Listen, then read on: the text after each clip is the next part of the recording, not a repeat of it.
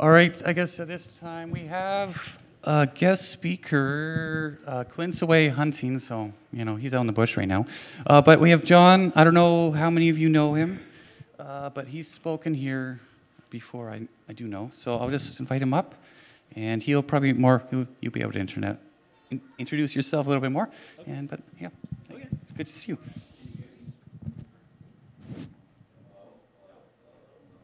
Hello. Oh, there we are. I'm back. Wow.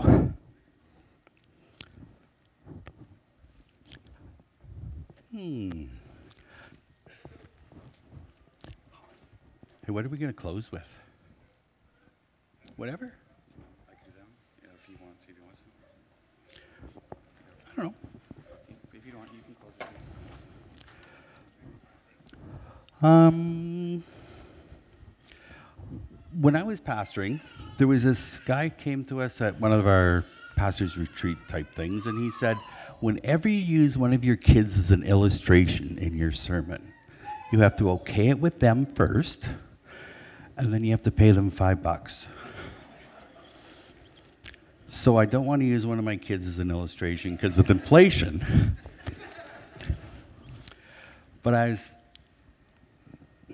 I was thinking, and it just, you know, you're praying and you're thinking, and then God gives you a thought, or maybe it's your own thought, but I thought I'd share it with you.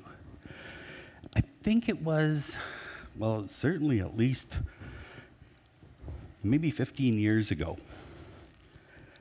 I had a good laugh because somebody that you know, that's not my kid, who would be one of my nephews named Stephen, but I won't use his name when they were in Sunday school at Thanksgiving, the teacher asked them, What are you thankful for?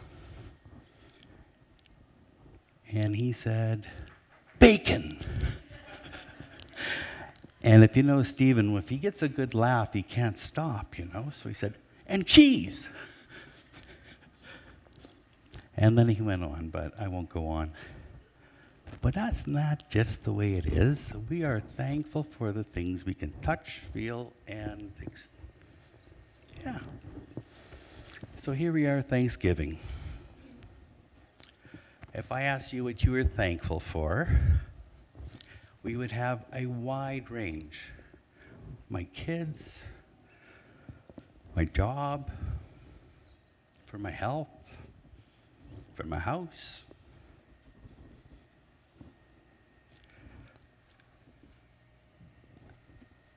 Let's play that stupid video that I that I gave you to put up. I'm so thankful. I think I'm more thankful than most people. Yep. Thankful for my car. I love my car. Yep. I'm thankful that they brought back Twinkies. Yep. Thankful that my phone reminds me of my kids' birthdays. Hashtag close call. Yep. You ever wonder what the Puritans did before they invented Kindles? Nope. Probably play with dirt. Thankful I'm not a Puritan. Yep. Thankful for my gym membership. I mean, look at me. Yep. What are you thankful for? I'm thankful. I'm thankful for a God who who loves me unconditionally. Yeah. I mean, even when I make a mess of things, he still loves me. Yeah.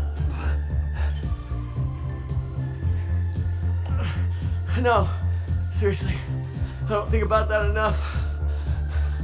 I'm really, really thankful for that. I was gonna say all that stuff. I just didn't know we were talking about spiritual things. Yep. you make me want to be a better man.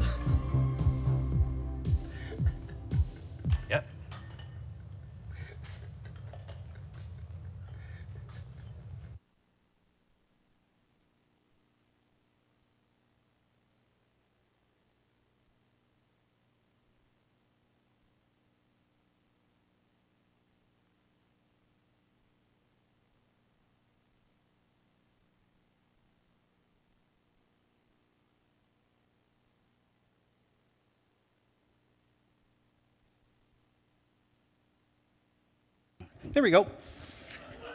Thank you. I'm glad that God gives me little reminders other than just because God's word says so. I know that should be good enough because I believe that.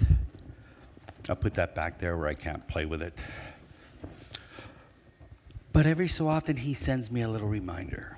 Um, this week, when we were having our first home group, I told them about a time that uh, the Gideons were coming to Red Lake, Ontario to send off New Testaments to the communities that still would let them do that.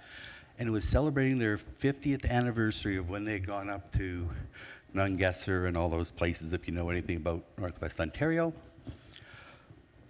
And they were going to come and just do a little presentation at the church because they were speaking at the Baptist church. And that was great. But all week, even before they came and asked if they could do that, I knew in my head that I wasn't preaching. But I still prepared because, you know, is that the pizza I ate last night or is that God telling me something? So I'm all prepared. And then they come on Saturday night just to make sure their PowerPoint's going to work and their little video thing's going to work. And, and they said, What time do you want me to come? And I said, Well, I thought you were going to come right away because the Baptists, they start half an hour after us because we want to get out and get to the, bu- the buffet before them. And uh, they said, No, no, actually, we were supposed to speak there, but they have a missionary came into town and it's somebody they support for a long time, so he's going to be doing the preaching. And I said, Well, then why don't you take the service? Why don't you do the preaching? Like, I mean, I'm ready, but I've known all week somebody else is going to come with God's word. Oh, by the way, that's the only time that's ever happened to me. And so they came. And when they left, I already had the bulletin prepared. And I'm one of those crazy people who likes responsive reading. I think it's part of being ADD and I can't stay focused, so I have to, if I'm working with somebody, they read one verse, I read one verse as a congregation, and we got through things. But I had this scripture already in the bulletin, so I just left it and I took the picture off the front and I just went to Google Images and I searched and I found somebody's hand reaching and taking a Bible out of a drawer, obviously in a hotel. And the guy comes and he says to me right away, Where'd you get that picture? I said, Well, I got it on the internet. And he said, Yeah, yeah, whatever. Like we were getting to be kind of friends, so we'd talk to each other like that. And then we're going through the service after the service is over, and he says, How did you know what verses I was going to use? I said, Well, those were the verses I was going to use. Like, he says, Yeah, yeah, but really, where did you get the picture? Because he had the same picture on all of his PowerPoints. And I said, Well, I, I went on Google Images, and first one I liked, I saved it and put it on. He says, No, no, really, that is my hand taking a Bible out of a desk, out of a desk drawer at a hotel in Indonesia three months ago. I took it with my phone. How did you get the picture? God's in control all the time when we don't know it. So this morning, on Thursday, Ginia emailed me and said, What verse are you going to preach from? And I didn't respond because I was at work and then I forgot and I told you I'm ADD. You know, with ADD, they say there's only two times right now and not right now. So I didn't get back to her. So guess what verse she put in the bulletin? Psalm 100, 1 to 5. Can't make this stuff up. I didn't see it until halfway halfway through the service already. My verse is Psalm 100, verse 1 to 5. Who's in control? It adds something to me because what I'm going to say later in this verse, later today, that God promises to supply all your needs according to his riches and glory. it means more because you know He's in charge. It's not like He wants to supply all your needs, it's who He is. And He is a God that can, not just says He will. He's in charge. Anyways, let's start by reading. It's in the front page of your bulletin. I'll read it from there because I don't know if she did NIV or English Standard or whatever, I don't want to stumble all over. Shout with joy to the Lord, all the earth. I didn't hear anybody. Can you read with me, please? Shout with joy to the Lord, all the earth. Worship the Lord with gladness. Come before him, singing with joy. Acknowledge that the Lord is God. He made us, and we are his. We are the sheep of his. Path. Enter his gates with thanksgiving.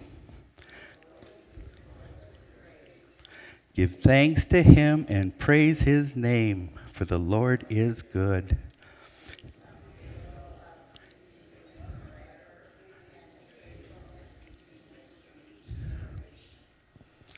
Lord, would you please add a blessing to your word? And Lord, I pray that as I share from your word, that the stuff that's just John's idea just washes over people. But the truth that is from you sinks deep. That your Holy Spirit will draw it up when we need to hear it the most. Lord, let us be like sponges when it comes to your words your promises, who you are. In Christ's name, amen.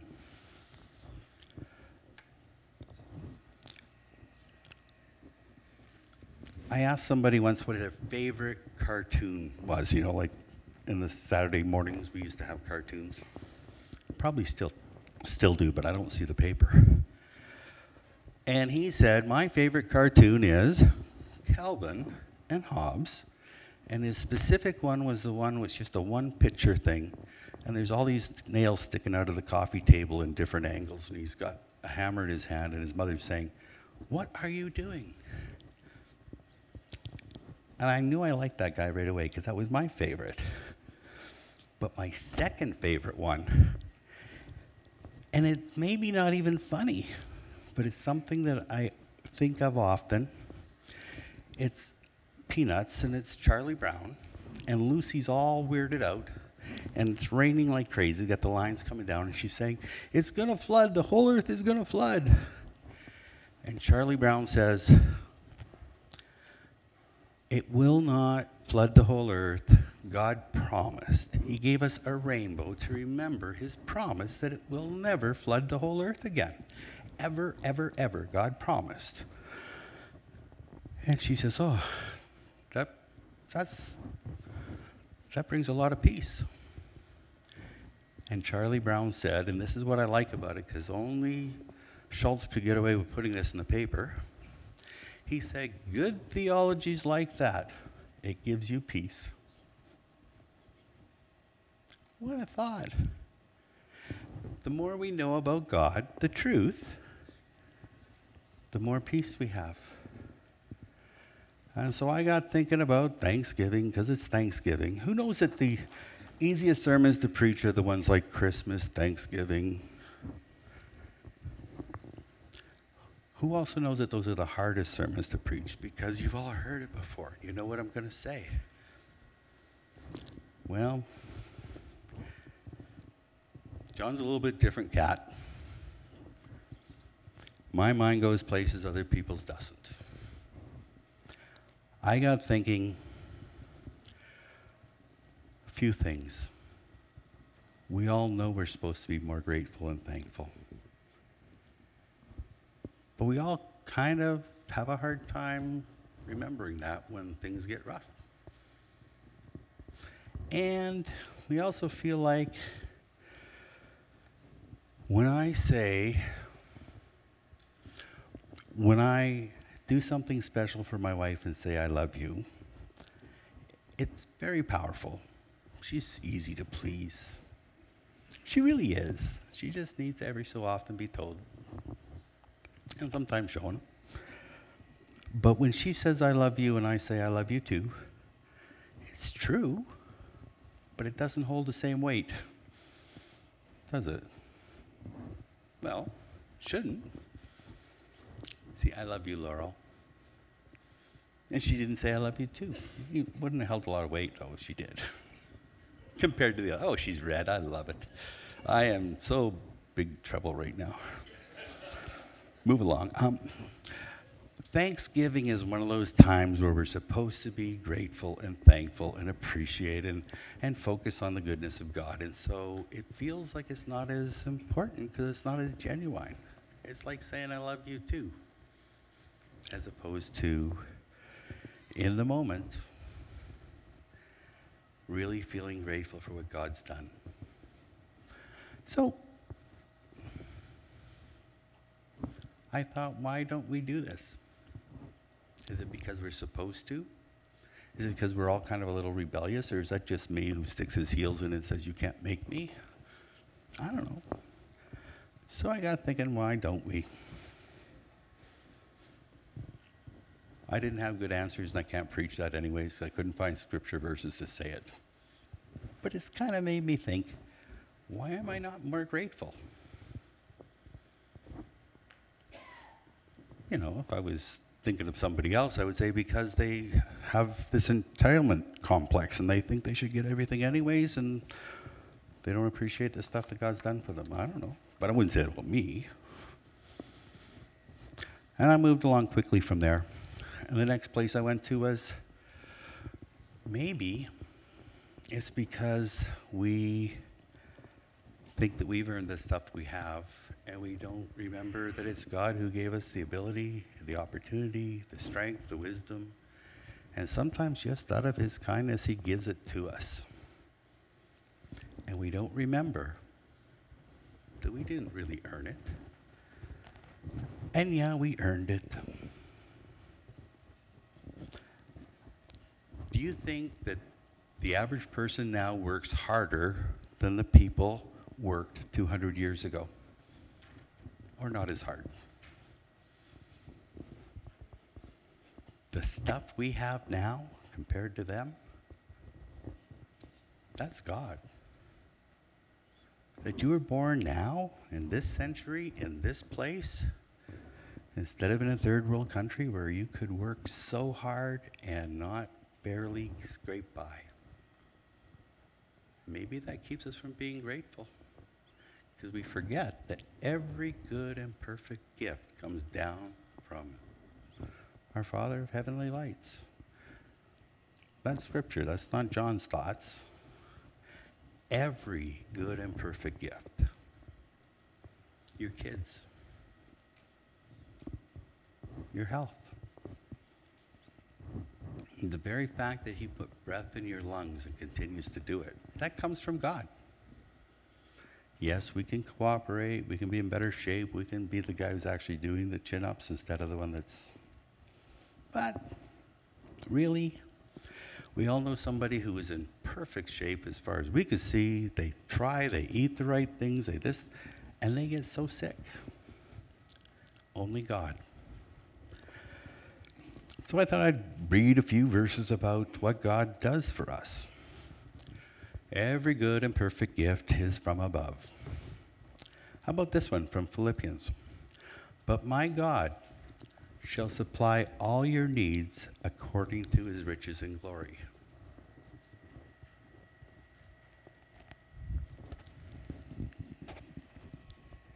All your needs. Do I want all my wants? Or is all my needs good enough? Well, God certainly didn't have to put the right verses for me in the bulletin to remind me, did he? And he doesn't have to do all kinds of stuff that he does for me, but he promises all my needs. The Lord is my shepherd, I shall not want. Is that the second most memorized verse in the Bible? How often do we think, The Lord is my shepherd, I shall not want? If I ask the average person, what they need right now, they could come up with a list easier than they can come up with the things they're thankful for. It's weird, eh? Christians are a little bit strange cats. They actually are more grateful. I, I read a survey that was saying the most appreciative people in the world were Christians. And one of the measuring things they had for whether they said how thankful or how grateful somebody is, is how much they share. And they said that, and I don't know if it's true or not, maybe it's just the country they did this study in, but they said 75% of charitable donations come from Christians. No, that sounds like a. How could you ever prove that? I don't know. But I do know that Christians are the most generous people I know. Not just to charitable donations, but to each other. And if you were thinking, what says whether you're thankful or not, it's if you're open handed. Because if God's the one that gave you the stuff and everything you own belongs to Him, you can let it go.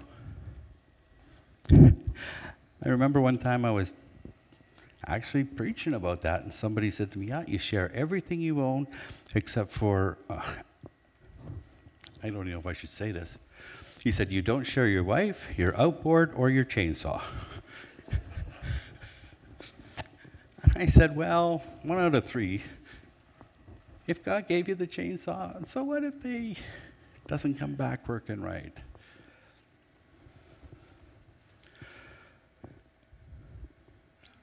Bet you none of you have had a chainsaw where you lent it out and they put real gas in instead of mixed gas and it came back.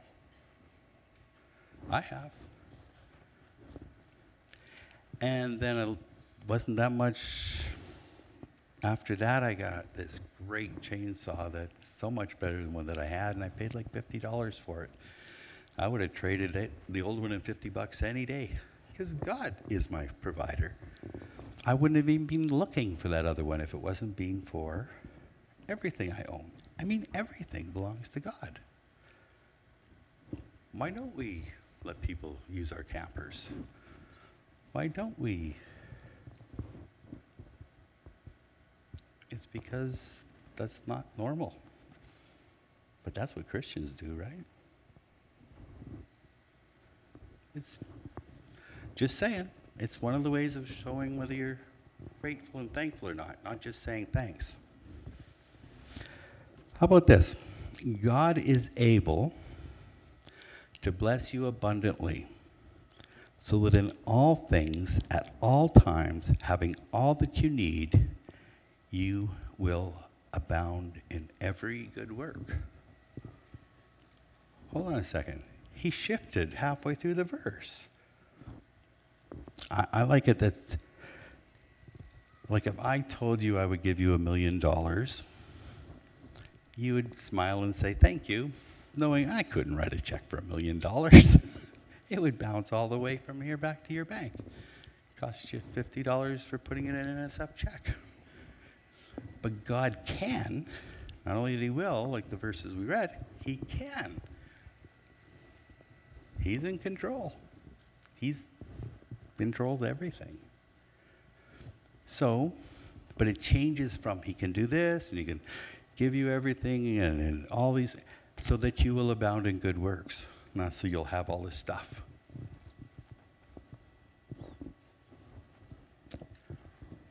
Interesting. But in your hearts, revere Christ as Lord.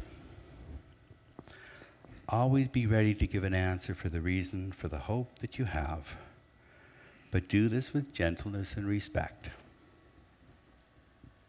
There's a, I read a story about this missionary, and I, I saw it two different places, and it's on the internet, so it's got to be true. Anyways, the guy's retired. He's, he's dead now. He was a missionary in India, and he had been a doctor before he became a missionary. And the area in India that he was at, they had this problem. It's like an epidemic with this infection that people would lose their sight. And it was this, he discovered a, a simple way to use this antibiotic that was used for other things that would cure the infection that would cause people to go blind. And so he would go from place to place and have all kinds of antibiotics, and people would get their sight back if they weren't completely blind, and it would heal in there. And it was like a miracle. And he said that in the area he was in, the dialect that they used didn't have a word for thank you. So what they would say after they received their sight back was, I will tell of your name.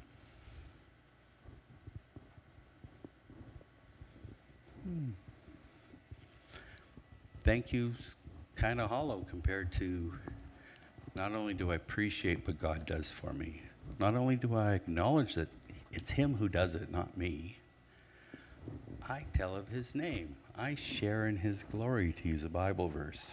I expand His glory by sharing with other people what He does, which ties me back to always being ready to give an answer with the hope that I have within you.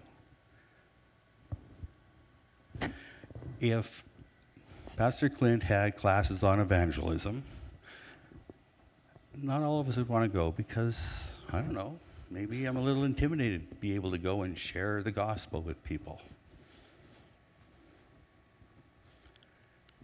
I don't know, would you go? But if we know that all that we're really doing is sharing why we have hope, why we have joy, why we're grateful, why we're thankful, and not giving the answer that they expect because, look, I'm so glad I have a gym membership. Don't look at me.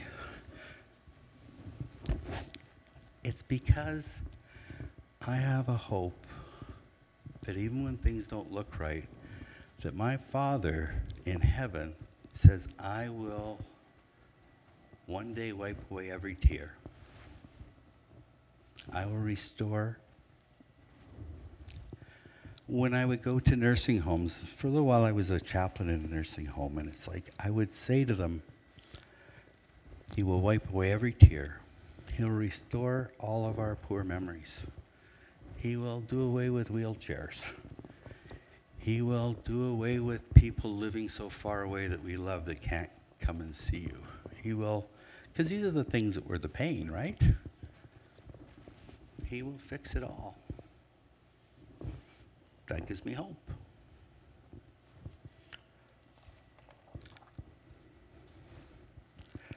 I want to close with this. And this is maybe where I said, you know, if these thoughts come from John, just let it go. And I even prayed that God would let it wash over. So this might be one of those. Because John's going to take two ideas, put them together, and any great Bible theologian and any great biblical theologian would say, John, you're stretching it. But I don't think I am. You decide for yourself, okay? Bible says over and over, God is love. Some verses just almost second shortest verse in the Bible. God is love. That's nice. But I wanted to tie that to 1 Corinthians 13, verses 4 to 8, which I'll bet of the people that are married here, more than 80% of them had read at their wedding. If you remember the wedding. If you're like the guy, it's like, I'm getting the bride. I don't care what they do or say there. But most women would know this was read. And I want to take where it says, Love is patient, love is kind, it does not envy, and I want to substitute a word in there. Because if God is love, I think I can safely, without stretching it, say, God is patient. Well, if love is patient, He's love. God is kind. I want to read through those four verses, five verses, four to eight. Yeah, five verses. And I want you to think about why we're thankful that God does these things. And it's not only because He provides this stuff, it's because who He is. With our home groups that we're starting, that started some of them, they're going to be looking at who God is. And they are not going to be saying He's all powerful, all knowing, all this, all that. They're going to say He is merciful, He is forgiving, He is kind. He is. and in Sunday school, the classes, I sat in on one last week. Guess what they're doing? They're saying, What does God's word say who God is? And they're starting with, Love is patient. Well, God is patient. Very, very special. So I thought we'd share that today and close with that. God is patient. God is kind. He does not envy and he does not boast. And he's not a proud God. He does not dishonor, dishonor others. God is not self seeking, and he's not easily angered, and he doesn't keep a record of all your wrongs. God does not delight in evil, but rejoices in the truth. God always protects. He always trusts, he always hopes, and he always perseveres. God never fails.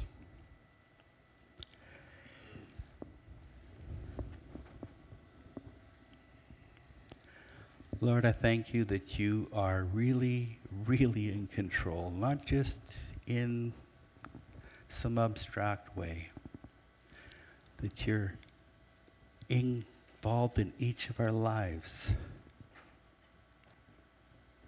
Lord, I thank you for your patience with me. And I praise you for your kindness. And Lord, I am so glad that you've taken my transgressions and thrown them as far away as the east is from the west, that you don't keep a record of what I've done wrong. Lord, for that I am truly grateful. For that I am truly thankful.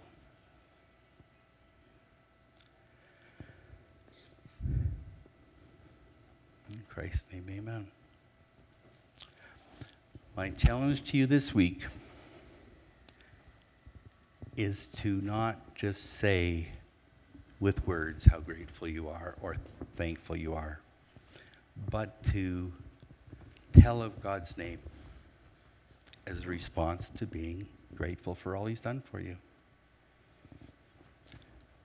If I could ask the musicians to come back and sing. When they're coming, I'll tell you something else God did for me this week that He didn't have to both my parents are kind of getting there. My, my mom's losing it. My dad's, I'm shocked he's still alive. I thought a month and a half ago when I went back to Winnipeg, it would be to say goodbye, and he's still, he's not eating, and it's a month and a half later. They sent him home to die, and he's still. But my sister sent me a little video of my dad singing. And it was, I love you, Lord, and I lift my voice to worship you, oh my soul, rejoice. Take joy, my King, in what you hear. Let it be a sweet, sweet sound in your ear. And my dad can be a really difficult patient but his countenance comes back when he sang that song. And then I phoned my mom just hours after that. And she said, I sing this song every night so I don't forget because I'm forgetting everything and I don't want to forget this. And she sang some of the words wrong, even. But guess what song she sang for me? I love you, Lord. And I lift. That's a little present God gave me. I would encourage you to watch for those presents and don't think they're by coincidence or by accident. The one who loves you He gives you those things, but keep your eyes open so you don't miss them, okay? Let's praise God.